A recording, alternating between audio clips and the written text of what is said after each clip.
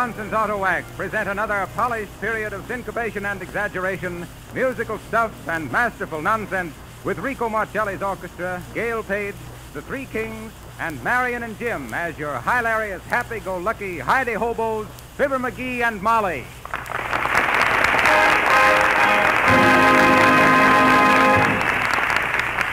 And we lead off with Marcelli and his men Now, playing. wait a minute there, son. Huh? I got me a little something here that me and Molly is going to read. Well, is it necessary? No, it's poetry. Oh, I see. Come I on, Molly. Come on, Molly. You may fire when ready, McGee. Okay. Listen, my children, and you shall hear. How to get a grin from ear to ear. Use Johnson's wax upon your car. It's easy to use. Goes twice as far. Whether it's rainy or whether it's fair, It saves your finish from weather and wear. it saves your time and cuts your expense. Wax and cleaner for 98 cents. With a can of touch-up enamel free, Just take this tip from Molly and me. while you make a note of the wax device, Marcelli plays New Sun in the Sky.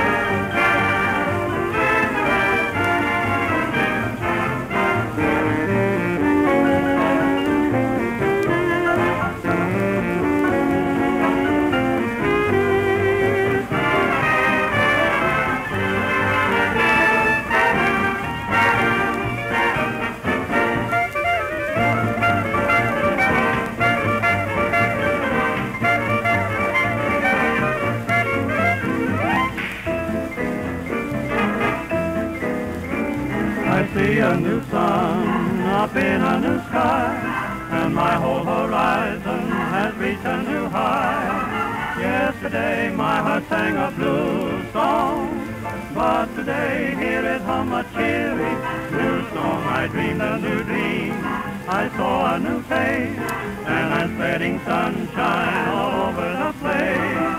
With a new point of view, here's what meets my eye. New love, new love, new love, new love, new sun in the sky.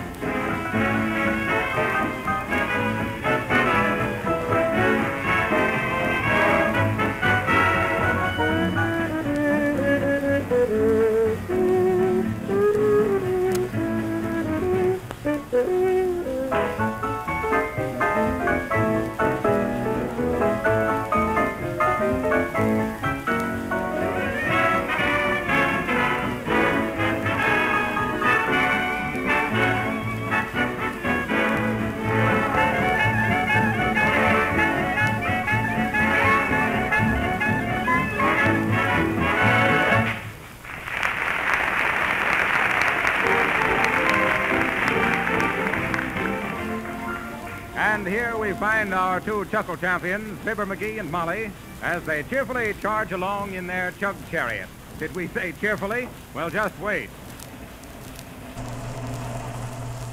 better slow down a bit, McGee. There's a bridge up ahead. Oh, shucks, Molly, that's a brand new one. You Don't have to slow down for that bridge. Oh, oh no. What you mean, oh no? McGee, you'll not only have to slow down, you'll have to stop.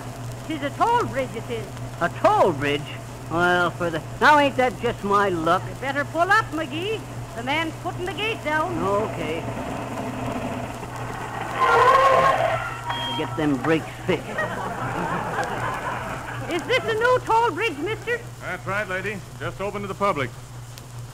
Well, pay the man, McGee. Don't just sit there and blink. Now, now, wait a minute, Molly. I'm, I'm thinking. What's the toll, Bud? Two bits for the car and driver, and nickel for extra passengers. Thirty cents. Thirty cents. Kind of steep, ain't it? Oh, I don't think so. Finest bridge in the state. Shucks, who cares? I didn't order it. I just soon go across on two planks myself. This the only crossing place? Well, you can go down the river a ways, but it'll take you about 20 miles out of your way. Well, McGee, are you going to go back, or do you feel like 30 cents? What'd you say the toll was, Bud? 25 cents for you in the car, 5 cents for the extra passenger. Five cents for the extra passenger. What's the charge for pedestrian? pedestrian, pedestrian what do you charge for walking across? 5 cents? Oh, well, guess you can sit still then, Molly. Say, McGee, if either of us walked across, could be yourself. Come on now, pay the man and let's get going. That'll be 30 cents, mister. No, no, let, let me think a mite. You say it'd be 20 miles out of the way to go down the river to the Free Bridge, huh? That's right. Let's see now. 20 miles.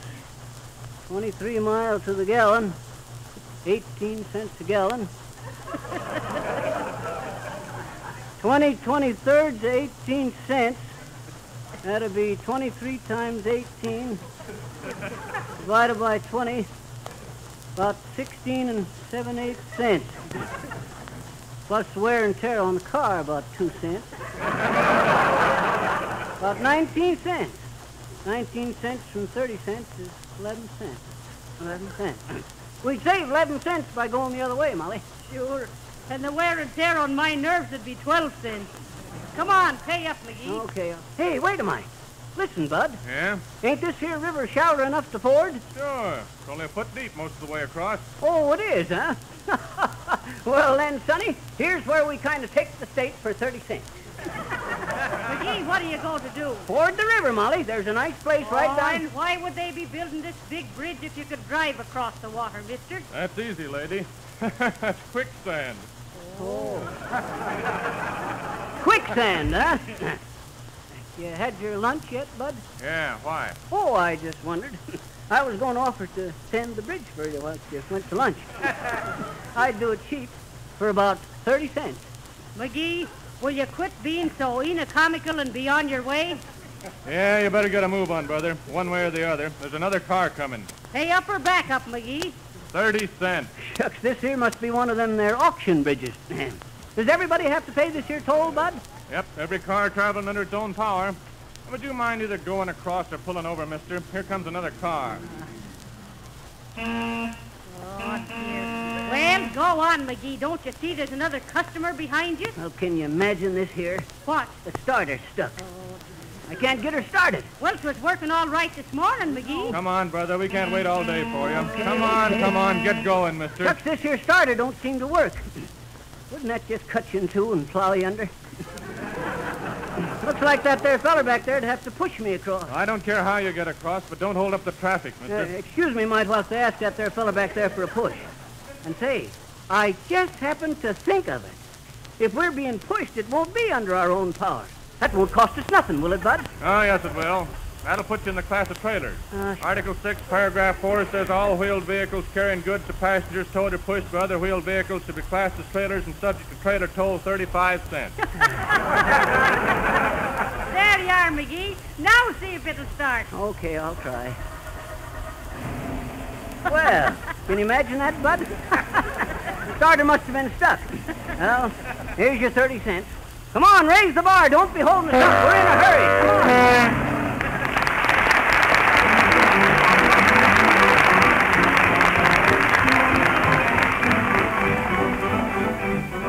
And so we leave Fibber and Molly and return to the studio for a song by our lovely to look at and easy to listen to Gail Page.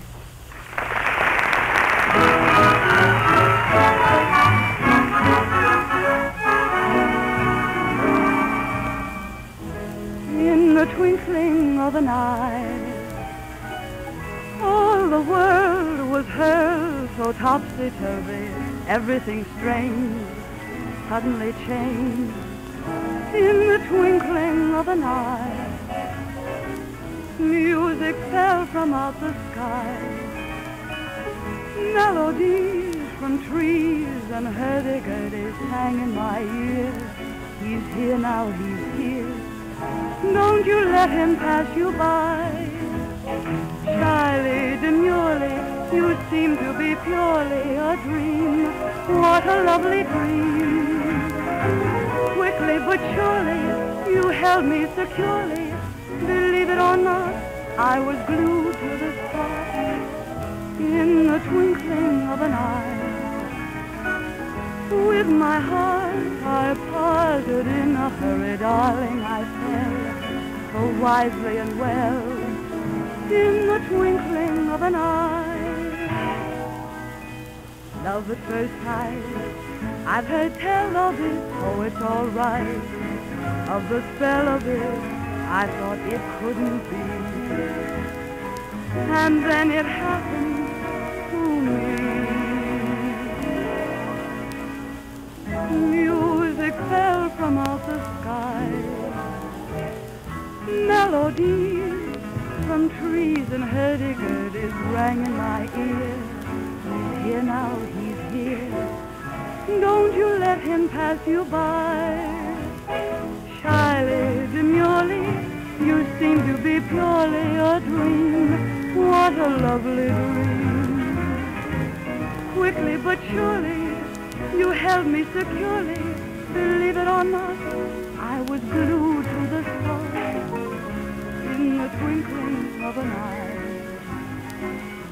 With my heart, I parted in a hurry. Darling, I fell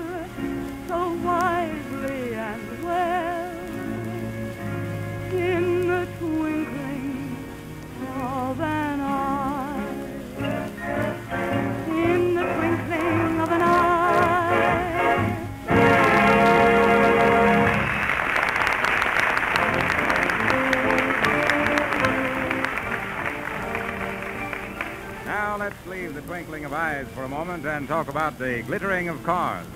I realize that a great many of you are already enthusiastic about those sensational new Johnson products, Johnson Auto Wax and Johnson's Auto Cleaner. But if you haven't already discovered this unique method of restoring or preserving the finish on your car, you will be glad to know about Johnson's remarkable, easy-to-use Auto Cleaner. Now, this is not just another cleaner. It's utterly unlike anything you've ever before used on your car. You merely pour a little of the velvet white fluid on a cloth, rub it lightly over the finish, also the glass and chromium. It dries almost instantly to a fine white powder. When you wipe it off, you'll find your car clean and shining. You'll marvel at how quickly, simply, and safely Johnson's Auto Cleaner does the work. Actually, it takes much less time than ordinary cleaners and much less energy. Remember, the purpose of Johnson's Cleaner is to restore the finish on your car and positively will not injure it in any way. Let me read you a voluntary statement from an actual user that will mean more to you than anything I might say.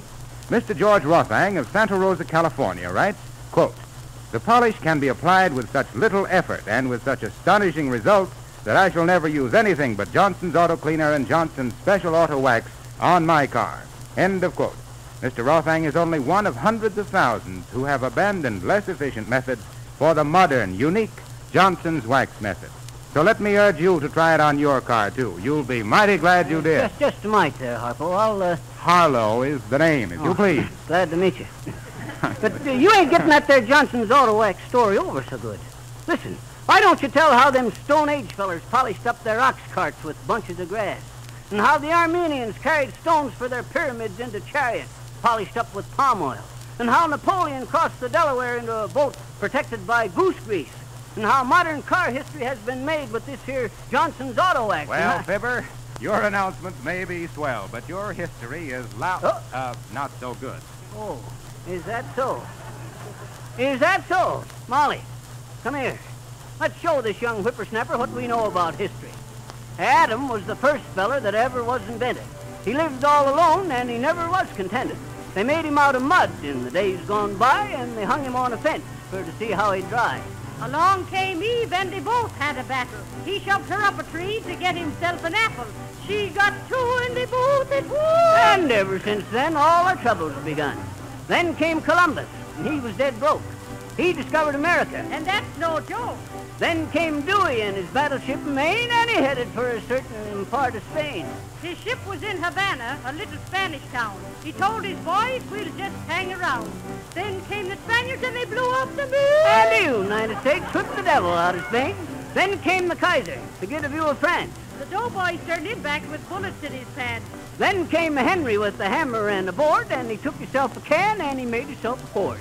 We had good times then and everyone was busy. We all had money to get ourselves a Lizzie. The Ford got old and Henry got busy, so he took another can and made a lady out of Lizzie. Then came depression and economic talk. We had to sell the car and start in to walk. Yep, we had hard times there for quite a spell. We've told you the history from Adam on down. Sometimes we're up and sometimes we're down. So the only thing to do is to do the best you can. Cause they sure played the devil when they made the first man. That's history in a few, few words.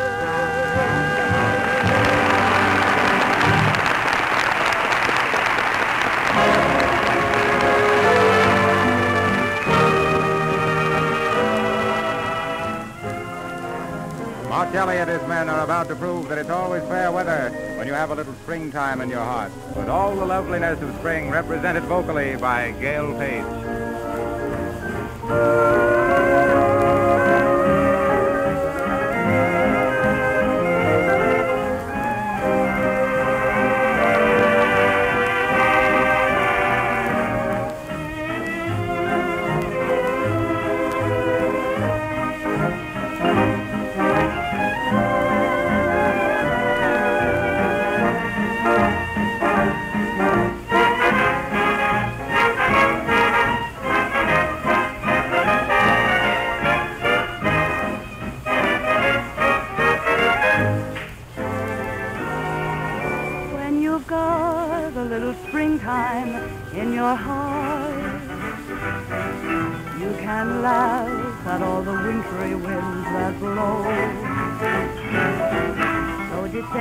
Comes your way, for you the birds will sing, and buttercups come peeping through the snow. You'll be young, you'll be in love your whole life through. Just as young and more in love than at the start.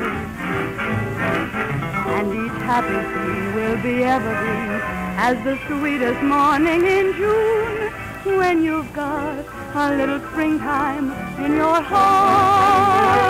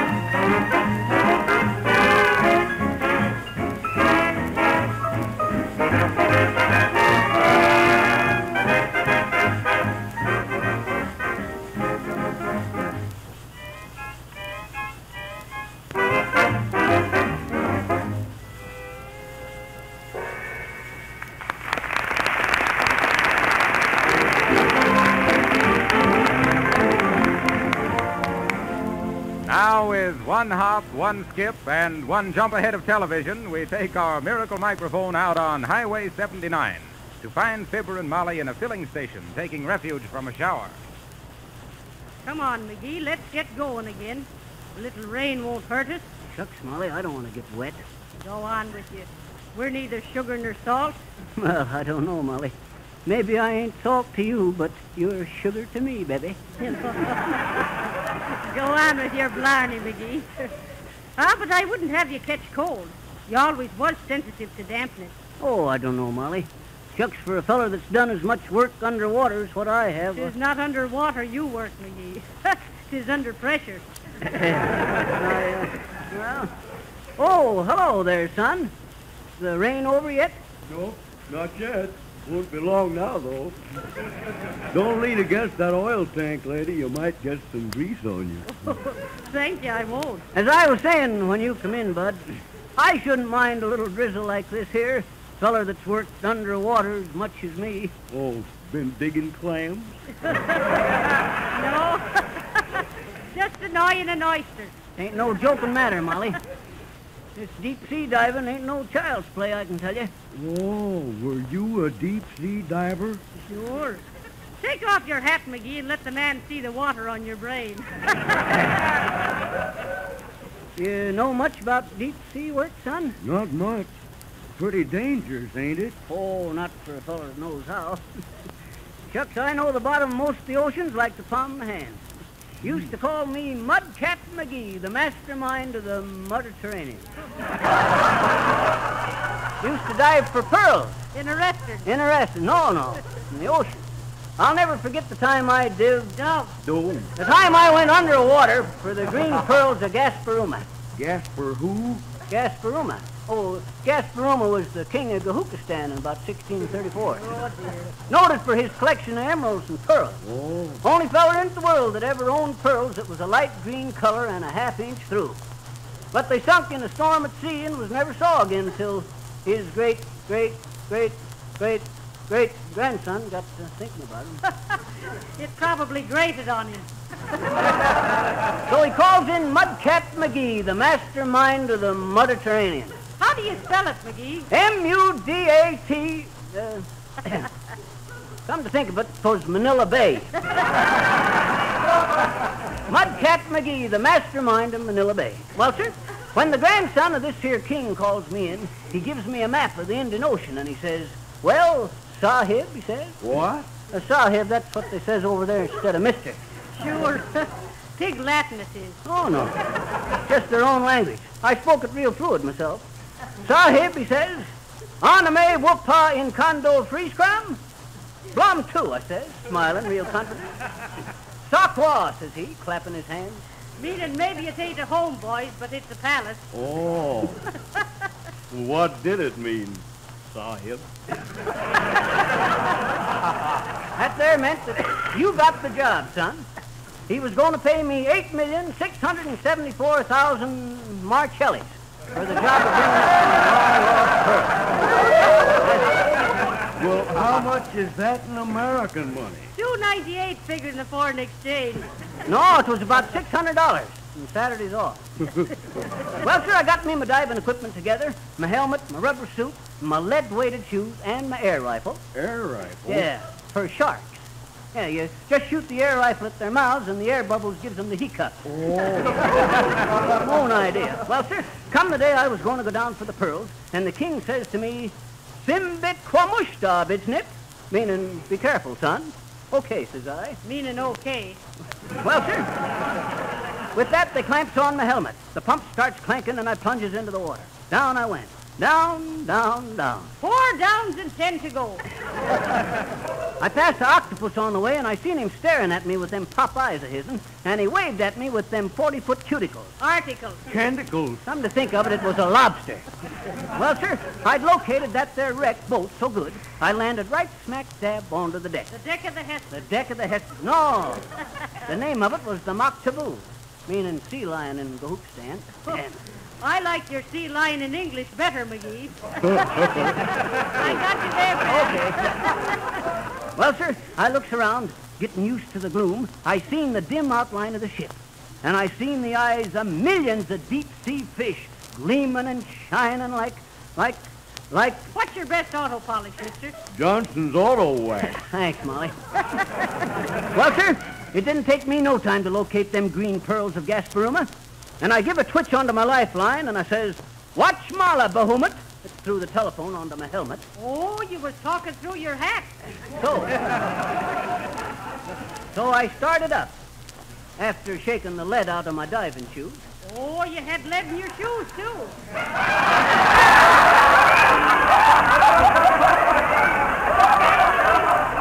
Did you get any rust spots on your iron will, McGee? No, but my copper helmet was pinching me, a mite. Don't you get it, Molly? The copper helmet was pinching. Ah, tain't funny, McGee. Okay. Well, sir, the king was pretty grateful for me restoring them green pearls. And uh, hey, hey, where are you going, Molly? I got the powder all off me nose under the ocean there, McGee. I'm getting me compact out of the car. I'll be back. Well, that was sure some experience, mister. But the least the king could have done was to give you one of the pearls. Shh. He did. Give me a hatful of them. He did? How much did they bring you? I still got them. I got them right here. I, I don't like to flash such valuable jewels in front of strangers. Well, that's all right. Nobody else here. Let's see 'em. Okay. But now you tell me if you see anybody coming. Yeah. I keep them in this here paper bag just to fool people. Uh-huh. Here, take a quick look, bud. There. Ain't them Lulus? Big as marbles. Hey, no kidding. Betcha. Them are genuine green pearls, ain't they? Ah. I thought you was fooling. Who, me? Ain't them whoppers, though? I never... Oh, hello, Molly. I was just showing this here young feller the... Why don't you give him one, McGee? Don't be so stingy. Wait a minute, Molly. I was just saying that... Oh, I wouldn't expect him to give me one of them valuable pearls. Valuable what? Pearls, is it? Why, sure, it's nothing but a sack of green candy balls. Green candy balls? Hey, McGee, where you going? Say, what's the... You got a lot of nerve. ever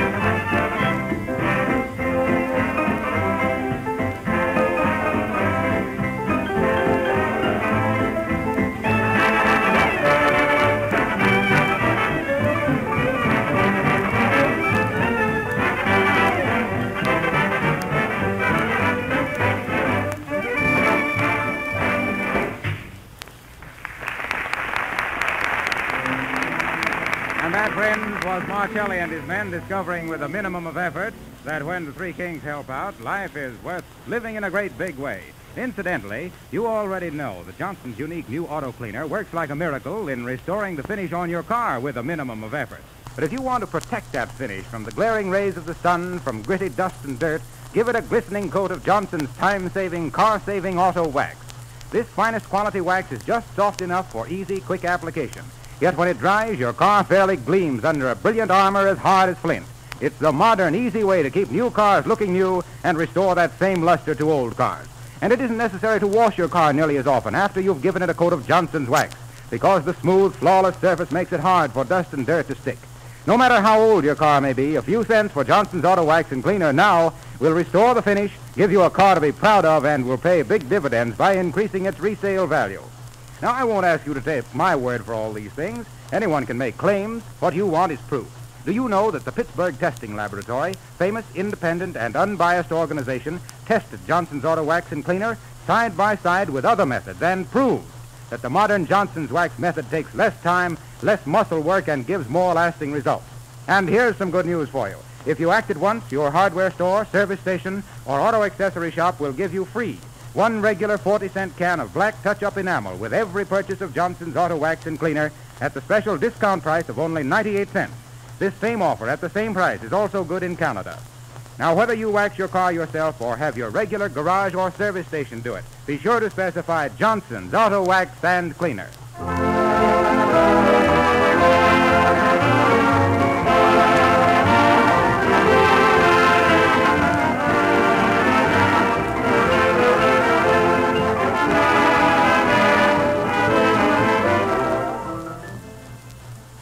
Remember, Johnson's Auto Wax on your car, Tuesday night on your radio. This is Harlow Wilcox speaking. Good night.